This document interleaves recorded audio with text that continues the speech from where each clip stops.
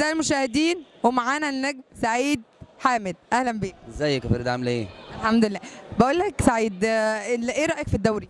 الدوري ما شاء الله حاجة ممتازة جدا وحاجة جديدة وبجد يعني هنستمتع في رمضان مع بعض بإذن الله وهنكسر الدنيا السنة دي بإذن الله. إن شاء الله بإذن الله.